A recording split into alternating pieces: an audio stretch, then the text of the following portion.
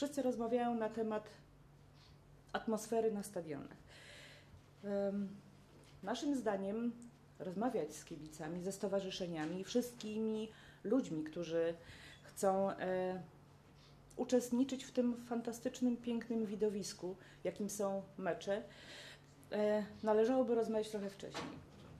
Wtedy, kiedy proponuje się konkretne rozwiązania, wtedy, kiedy rozmawia się o projektach ustaw.